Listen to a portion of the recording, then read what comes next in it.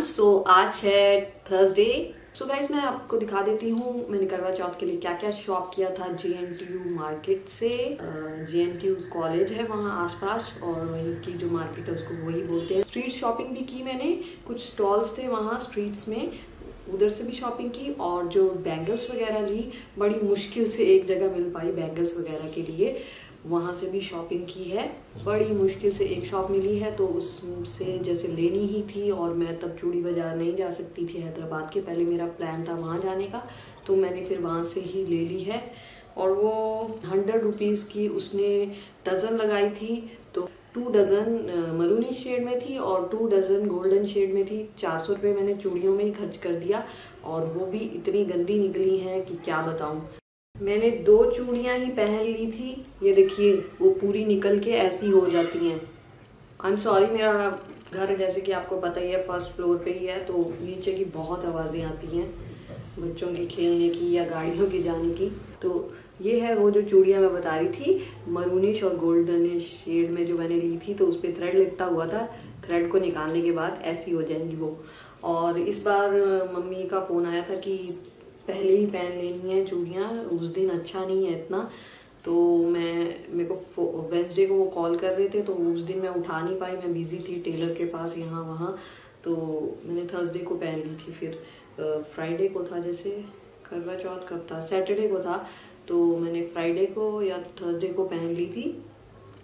और मैंने दो पहनी जब तो मुझे आइडिया लग गया कि इस चूड़ियों को जब पानी ही लग रहा है तो ये तो बिल्कुल ख़राब हो जा रही हैं। तो जब मैं पूजा करने जाऊँगी सब लेडीज़ के साथ तो इसकी तो ऐसे लटकी हुई तारें मिलेंगी और वो इतनी गंदी मिलेंगी। ऑलरेडी मैंने इतनी मुश्किल से एक चूड़ियों का सेट ख़रीदा है तो मैं वो ख़राब नहीं करना चाहती थी। इसलिए सर्गी से पहली जो रात होती है, हमारे यहाँ उसी रात को पहन लेते हैं चूड़ियाँ सर धो के रात को।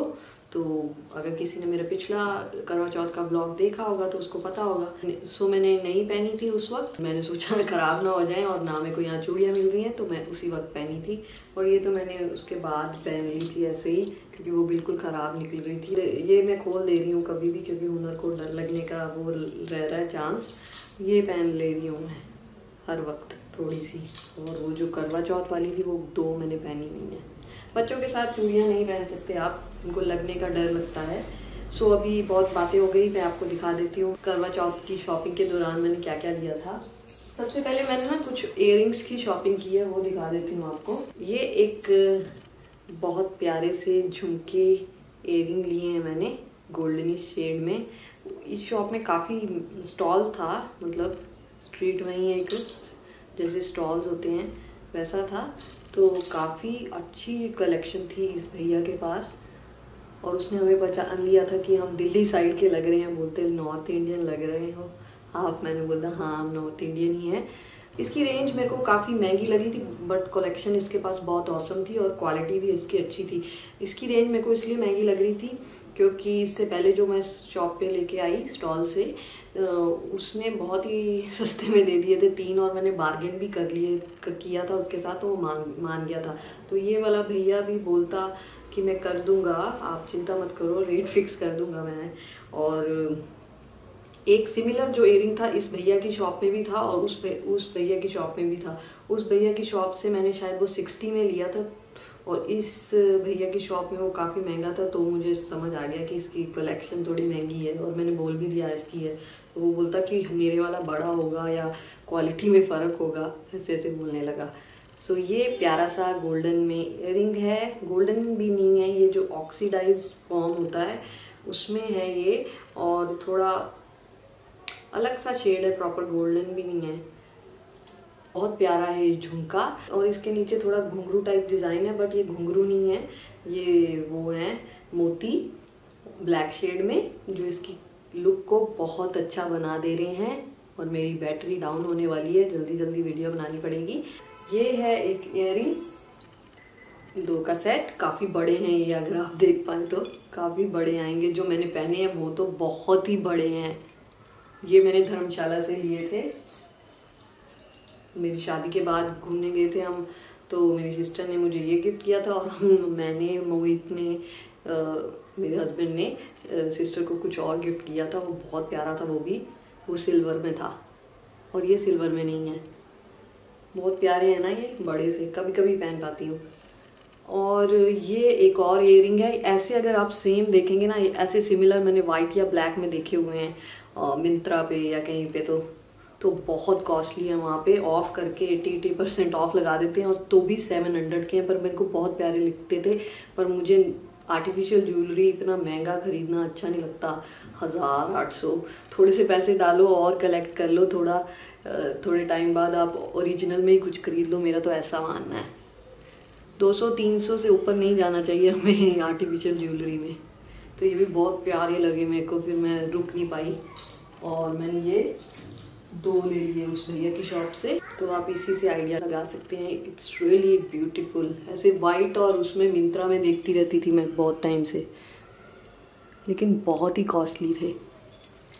सो so, ये हो गए सेकेंड और एक और ले लिए उसी शॉप से मैंने। चलते चलते वैसे तो दो ही लेने थे। बिल्कुल आखिर में लिए हैं। बहुत प्यारे हैं ना ये। सिक्सटी के बोल रहा था शायद ये? हाँ। तो इन सारों का आई थिंक मैंने तीनों का फाइव सिक्सटी पे किया है। एक बार मोहित अभी आ जाते हैं तो मेरे को भूल भी जाता है एक्चुअली प्राइस तो स्क्रीन पे मैं एक्चुअल प्राइस बता दूँगी। इन सभी का मैंने 560 पे किया है। मेरे को कुछ भी याद नहीं रहा। मेरे को एग्जैक्ट जो इकट्ठे अमाउंट दी थी, वो भी याद नहीं। मैं स्क्रीन पे डालूँगी। बहुत दिन हो गए, क्योंकि आज है अहोई माता का दिन। ये मैं उस दिन वीडियो शूट नहीं कर रही। मेरे को टाइम नहीं मिल पाया करवा चौथ के बिल्कुल बाद वीडियो शूट करने का। तो आज अहोई माता का दिन है, इसलिए आपको हैप्पी अहोई माता। और अभी थोड़ी पूजा भी करनी है हमने। इनको बोला है ऑफ़िस से जल्दी आ जाओ क्योंकि हुन्नू का फ़र्स्ट वही माता का दिन रहेगा और मुझे पता नहीं था। अगर पता होता तो मैं व्रत भी रखती। मुझे, मेरा फ़ोन सुबह स्विच ऑफ़ था। तो मम्मी का मैसेज आया हुआ था जब मैंने तीन बजे ऑन किया तो तब तक तो मैंने खा लिया था। नेक्स्ट टाइम से फास्ट भी रखूँगी मैं शायद। और ये है दूसरी शॉप से जो इयर लिए हैं वो। एटी नाइन्टी के बता रहा था ये। अच्छे हैं ये, बहुत प्यारे हैं, चाँद वाली टाइप्स पर, और साथ में मिरर भी है इसमें, आप देख सकें तो। तो मिरर इयरिंग्स का बहुत फ़ैशन है, इसलिए मैंने ले लिया। बस ये है कि इनके जो ये वाला पोर्शन है ना, जहाँ से कान में डालते हैं, कान में डालने वाली चीज़ वो इरेगुलर सी है तो मतलब पता चल जा रहा है क्वालिटी इतनी अच्छी नहीं बट इसकी क्वालिटी बहुत ही अच्छी है, जैसे ऑनलाइन साइट्स में लेते हैं आप। उस भैया के स्टॉल में अच्छी क्वालिटी थी। इसकी ठीक ठीक ही क्वालिटी है, जैसे पता लग जाता है कि लोकल स्टोर से उठाए और बड़े ज़्यादा देर नहीं पहन पाएँगे, दर्द हो जाएगी कान में।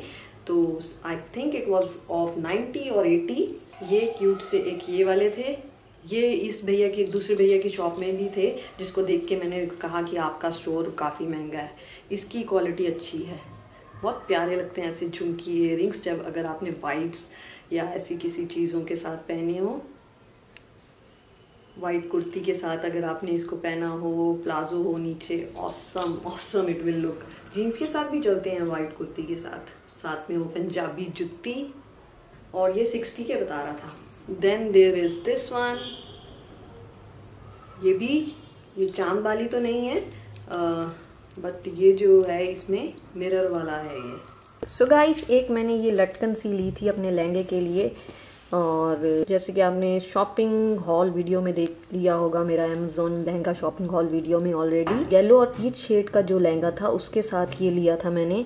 थोड़ा सा पीच शेड में ही है ये और कैमरा में ऑरेंजिश लग रहा है क्योंकि कैमरा थोड़ी ज़्यादा लाइट पकड़ लेता है। ये मेरे को उसने फिफ्टी रुपीज़ में दे दिया, जबकि ये उसको हंड्रेड का बोल रहा था और बार्गेन करने पे बहुत मुश्किल से एट्टी का माना था बट हमारे पास चेंज नहीं थी तो फिफ्टी में उसने दे दिया। इसलिए मेरे को प्राइजी लगी है वो शॉप क्योंकि मैंने देखा है चार मीनार साइड ऐसी चीज़ें फिफ्टी सिक्सटी या और भी कोई स्ट्रीट शॉपिंग की प्लेसेस होंगी तो वहाँ सस्ता मिल जाता है, क्योंकि आगे एक और स्टॉल था, उसके पास कलेक्शन ज़्यादा नहीं थी तो वो फिफ्टी सिक्सटी में दे दे रहा था बट जे में ये चीज़ें महँगी हैं लटकन तो चलिए मिलते हैं नेक्स्ट वीडियो में। Bye take care